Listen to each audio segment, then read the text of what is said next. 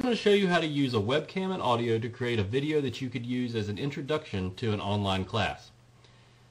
First thing I'll note is that this uh, process will only work with PCs. If you have a Mac, you're going to need different software that I'll show you how to use in a different video. But assuming you have a PC, the first thing you need to do is get your webcam and microphone and make sure they're plugged in. Then the second thing you need to do is download this free software called Debut Video Capture. You can download it at this website. I'll give you a second to jot that down or you can just pause the video. And once you download it and then install it on your computer, you'll see an icon like this. At this point, it's very easy. You just open it up and assuming your webcam is, is plugged in, you should be able to see yourself and then everything that you're doing should be showing up on the debut video capture software. Before you start recording, you want to choose your output format for your video. Since I have a PC, I tend to like WMV files, but if you have a Mac, you might like to choose an AVI file, whatever uh, works with your computer. Then you just hit record.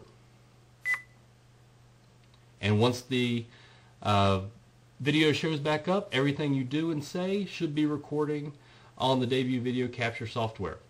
Once you're done with your video, hit stop. And as you can see down here, this little bubble popped up that said the recording was finished. To access your recording, you click on this button here that says recording. And as you can see here, this is my most recent uh, recording. Click on it, then click Save As,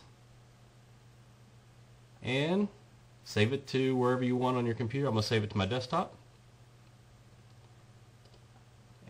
And there it is. And once the uh, video shows back up, everything you do and say should be recording on the debut video capture software. And as you can see, the recording uh, came through just fine. And at that point, you can use this video. You can upload it to YouTube. You could post it on Blackboard. Um, anywhere that your students could be able to access it. And it's a great way to be more personable in online courses and cutting out some of the distance in some of these online courses. Thank you.